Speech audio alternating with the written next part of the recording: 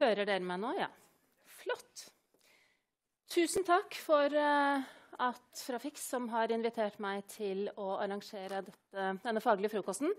Jeg heter da Lisbeth Brevik, er førsteamanuensis i engelsk didaktikk eh, på, her på Universitetet i Oslo på Institutt for lærerutdanning og skoleforskning.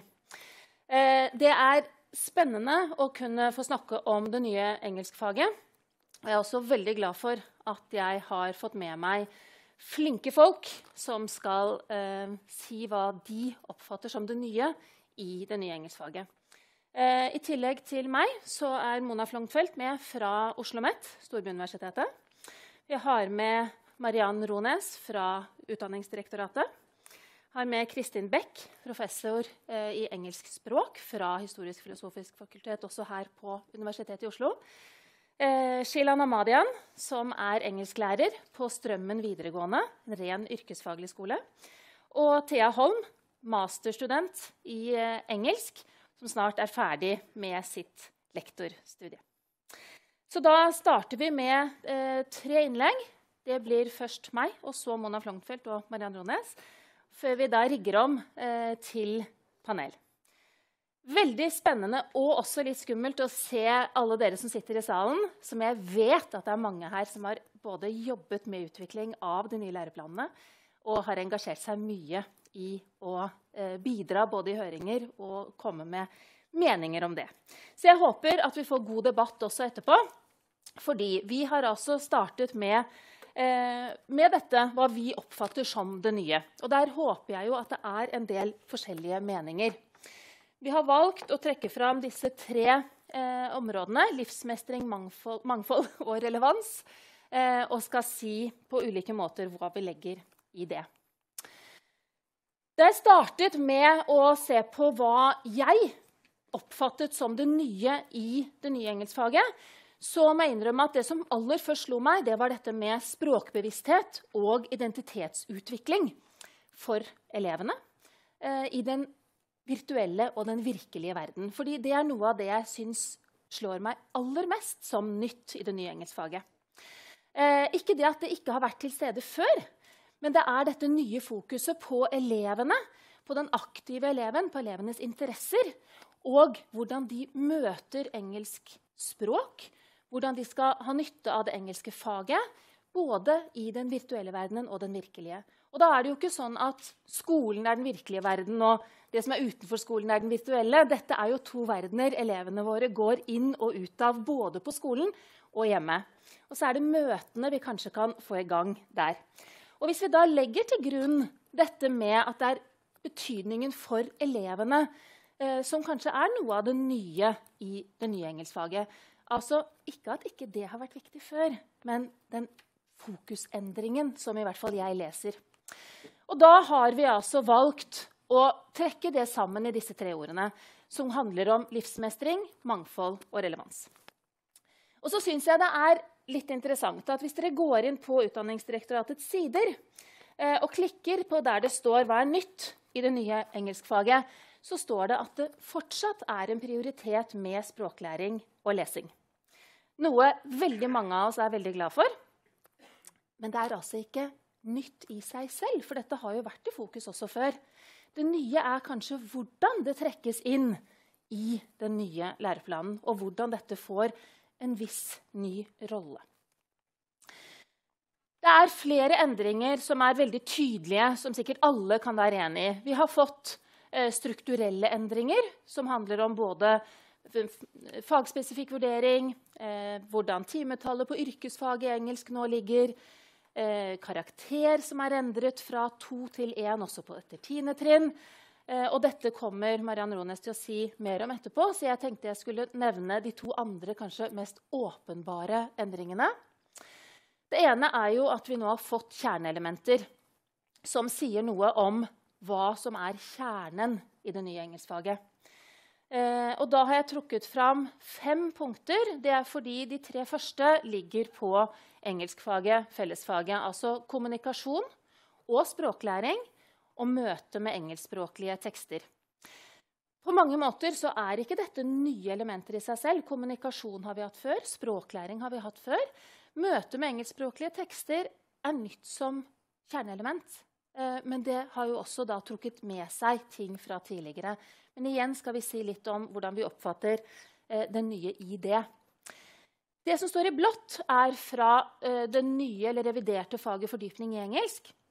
Hvor både kommunikasjon og språklæring er kjerneelementer. Eh, men hvor de istedenfor møte med engelskspråklige tekster har fått språk og teknologi og interkulturell kompetanse. Som da på mange måter ligger inne i kjerneelementet møte med engelskspråklige tekster i engelskfaget. Eh, så er det de tverrfaglige temaene. Vi som er opptatt av engelskfaget, var lenge eh, både bekymret og spent på hva er det vi endte opp med. Og vi har altså endt opp med alle tre. Det vil si at i, eh, felles, altså i engelskfaget ligger folkehelse og livsmestring og demokrati og medborgerskap.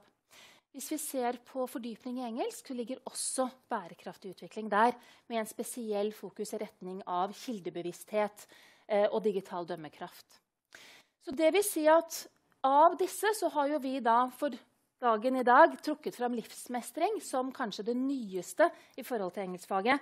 Og vi kommer til å si litt om det. For det som er, Nå har jeg helt bevisst tatt en parentes rundt folkehelse og. Det betyr ikke at jeg på noe vis mener å redusere dette. Men i forhold til engelskfaget så er det jo sånn at noe av det som har vært viktig i revideringen av læreplaner, er jo å slanke faget og gjøre det mer presist. Det skal ikke bli mer omfattende. Og da tenker jeg at måten vi leser, eller jeg i hvert fall leser, eh, folkehelse og livsmestring, så er det spesielt fokuset på livsmestring som er tettest knyttet til engelskfaget.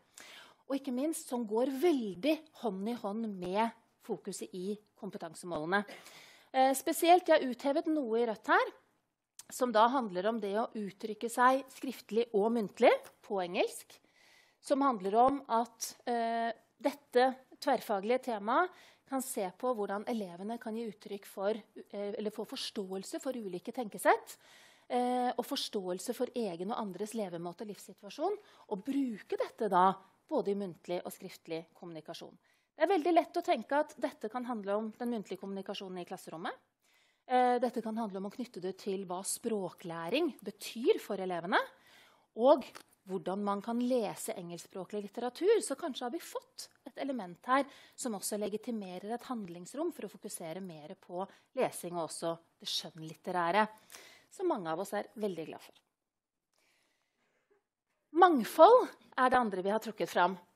Eh, og Der står det jo i eh, den nye læreplanen at faget skal bidra til å utvikle elevenes forståelse av at deres oppfatning av verden er kulturavhengig.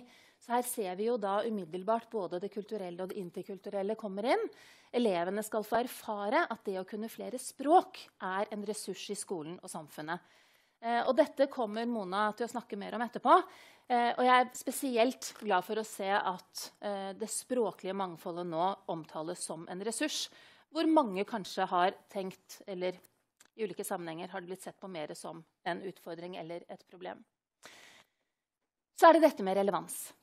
Jeg har vel sjelden sett så tydelig at relevansbegrepet er trukket inn i læreplanen som det jeg ser nå. Eh, det har vel mye vært knyttet opp til yrkesretting tidligere. Dette med relevans, At det skal være relevant for eh, fremtidige yrker. Nå ser vi at både samfunns- og arbeidsliv er trukket tydelig fram. Og jeg synes det gjennomsyrer også både læreplanen i engelsk og i fordypning i engelsk at det skal være relevant for elevene. Altså deres rolle i arbeidslivet, i samfunnet. Og da tenker jeg da blir det også snakk om at det skal være relevant for deres ungdomsliv og den ungdomskulturen de er del av. Så Det er hovedgrunnen til at vi har valgt å legge vekt på disse tre. Så har jeg lyst til i dette innledningsinnlegget å knytte det til forskning. Hvordan stemmer dette da med det vi vet om engelskfaget eh, i nyere forskning? Og for det første, bare for å presisere det jeg har sagt nå Elevene jeg syns de har fått en tydeligere rolle i denne læreplanen. Eh, de omtales som både aktive og utforskende. Spesielt da utforskende i forhold til språk. Hva språk og språkbevissthet betyr for dem. Det står helt eksplisitt at elevene skal bli trygge engelskbrukere. De skal være språklig bevisste Eh, og det kan vi jo tolke i mange retninger, men det er mange eksempler på at det skal handle om denne bevisstheten i bruk av språk, og også hva språket kan bety for dem. Det står flere steder at vi nå i det nye engelskfaget skal bygge på elevenes interesser. Og da spesielt det å koble elevenes interesser med faget. Eh, det er Noen som har spurt meg om betyr det at da blir det nye faget det skal styres av elevene. Nå er det de som skal bestemme, og så skal det ikke være faglig innhold. Og det leser jeg det på ingen måte som. Her tenker jeg at det skal handle om at de skal ha et reelt utbytte av engelskfaget. Det skal være faglig relevant. De skal se hvordan det faglig relevante er, bidrar til å gi dem et utbytte i deres liv. For det må jo være sånn at de går på skolen og skal lære og skal utvikle seg i engelsk for å gå ut i verden og bruke det. Vi driver jo ikke med skolsk engelsk fag. Og det syns jeg faktisk har blitt tydeligere i den nye planen. En av de eh, prosjektene som jeg leder, er videoprosjektet Lise. Eh, der har vi nå siden 2015 vært i klasserom på ungdomstrinnet og videofilmet eh, undervisningen. Vi har fulgt de samme klassene først i 9. trinn, vært inne i to uker og sett på filmet undervisningen som foregår der. Kommet tilbake året etter og filmet på nytt. Til sammen, Vi har vært i syv klasserom ved syv forskjellige skoler, tre forskjellige fylker. Og vi har eh, fulgt også da de lærerne de har. Og som vi vet, så hender det at engelsklærere eller engelskklasser får nye lærere når de bytter år. Så det er til sammen ti engelsklærere vi også har fått med. Det vi ser, som jeg syns er veldig relevant i forhold til den nye læreplanen, det er nettopp dette fokuset på språkbevissthet. Det, vil si, det vi ser, er at det kanskje ikke er en fremtredende språkbevissthet vi ser i undervisningen. Vi ser f.eks. at når det gjelder språk som brukes i klasserommet, så snakker de både engelsk og norsk. Det er ikke overraskende. Det som er overraskende, er at vi kan ta klasserommene og dele i to. Det er de som snakker nesten bare engelsk, og så er det de som snakker engelsk og norsk omtrent halve tiden hver. Men det er ingen andre språk i bruk. Så det flerspråklige eh, Og det er ikke det at vi har oversett for å si det sånn. Eh, dette her er, det er ikke andre språk i bruk. Selv om eh, noen av disse klasserommene er det vi vil omtale som flerspråklige klasserom. Det er også, hvis vi ser på språkbevissthet, lite grammatikkundervisning. Eh, det kan være tilfeldig fordi vi tross alt bare er inne i to uker av gangen og kommer tilbake. Men det er likevel andre ting vi ser at skjer mye jevnere. Eh, det er lite fokus på grammatikk. Det som jeg personlig er overrasket over og gjerne vil eh, diskutere videre, ikke nødvendigvis i dag, men, men fremover, det er jo at den grammatikkundervisningen som foregår, foregår på norsk.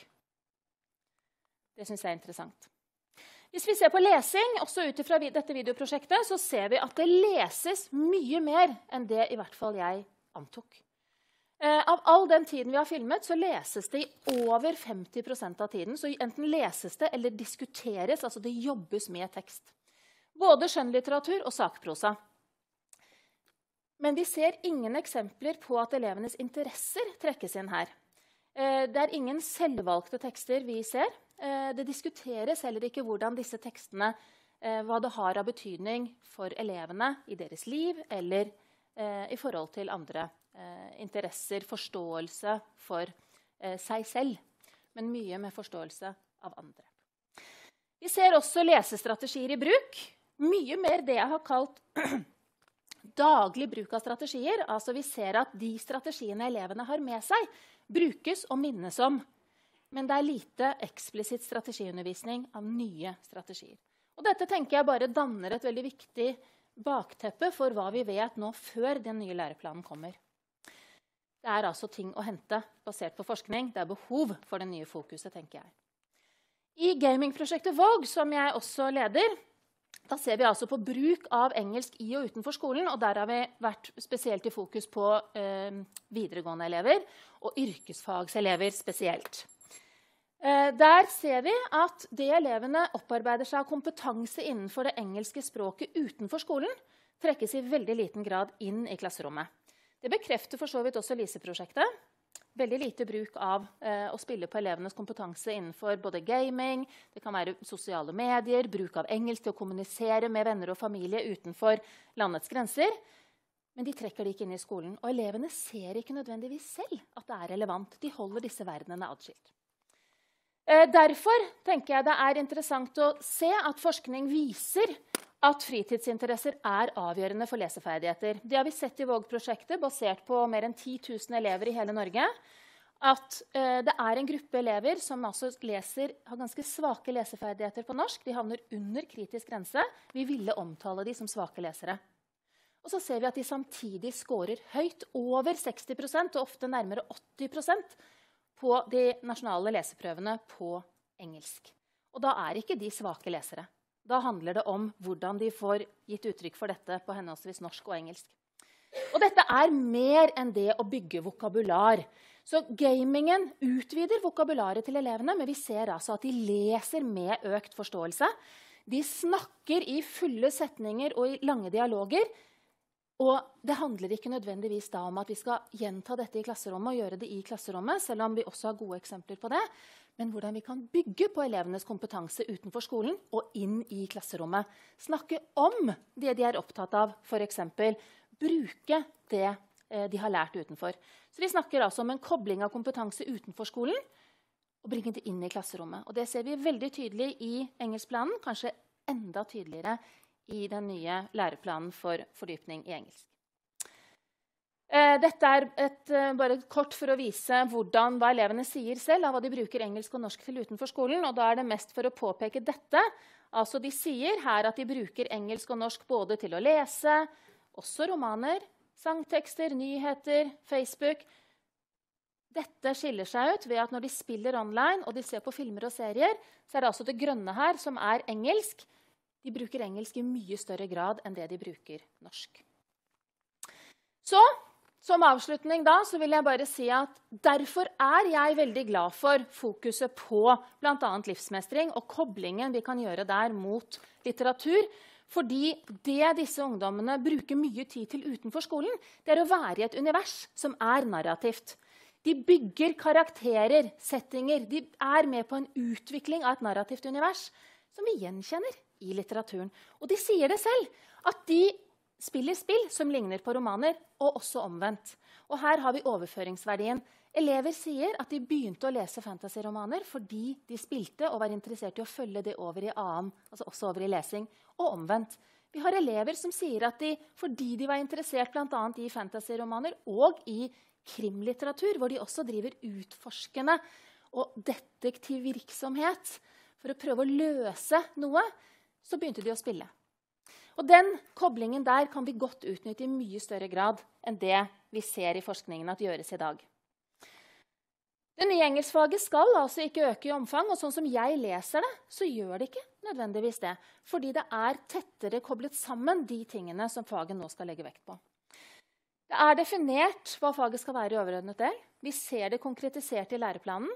Og jeg tenker at det nye engelskfaget, Når vi har trukket fram disse tre ordene om livsmestring, mangfold og relevans, så kan det f.eks. Eh, kommenteres på følgende måte. Hvis vi tenker livsmestring, hvordan blir da kompetansen elevene utvikler på skolen, relevant for deres virkelige og virtuelle verden utenfor klasserommet? Altså det å gå fra klasserommet og ut. Og også omvendt, altså dette mangfoldet, som både er et språklig mangfold og også et mangfold når det gjelder interesser og hva elevene er opptatt av.